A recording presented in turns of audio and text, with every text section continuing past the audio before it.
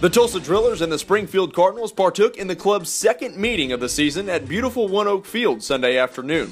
It was a special Mother's Day edition of Kids Eat Free Souvenir Sunday at the ballpark, and the game was fantastic and the entertainment was glorious in this one as the spirited group of 4,300 was on its feet and chanting all afternoon. Jennifer Stringfellow represented the moms with the game's first pitch with one right down the pipe and another mother quieted her kin by victoriously shoving fries down his pie hole.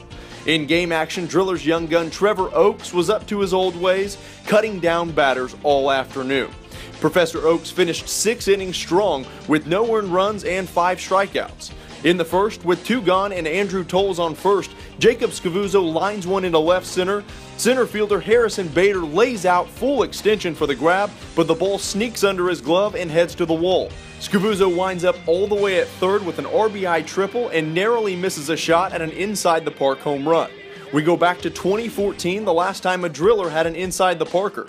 That just happened to be here at ONEOK Field on a day game against the Springfield Cardinals into left center field. Tulsa's Tyler Massey brought in Rockies pitching prospect Eddie Butler for a score before sliding home safely. Back to the first and high definition television, where 19 year old Alex Verdugo chops one up the middle, scoring Scavuzzo from third and putting Tulsa up 2 0. In the second, more good things for the Drillers as Drew Maggi paddles his second bomb of the season into the Budweiser Terrace and adds to the Drillers' lead. Kyle Farmer also knocked in Toles in the inning, and Tulsa went up 4 0 after two. In the sixth, Professor Oak's final inning of work, Paul DeJong was at the plate with the bases loaded when Farmer starts and finishes the double play from third. But a closer look at the replay shows the ball hit off DeJong's foot and the at bat was still alive.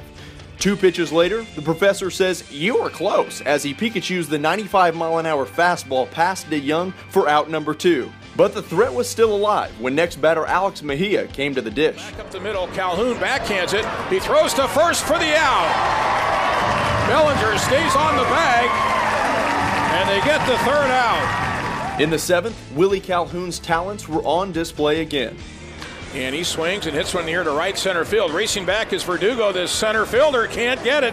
It's over his head. He picks it up on the warning track around third base is Raddick. He's coming to the plate. The relay throw. He is out.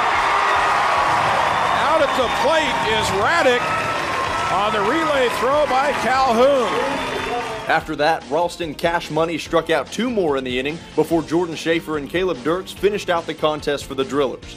The 5 0 win for Tulsa puts the Drillers back into position to make a run at the Texas League North's first half title as they sit back just a couple of games now behind the first place Cardinals. Game 3 of the four game get together is Monday morning at 11:05.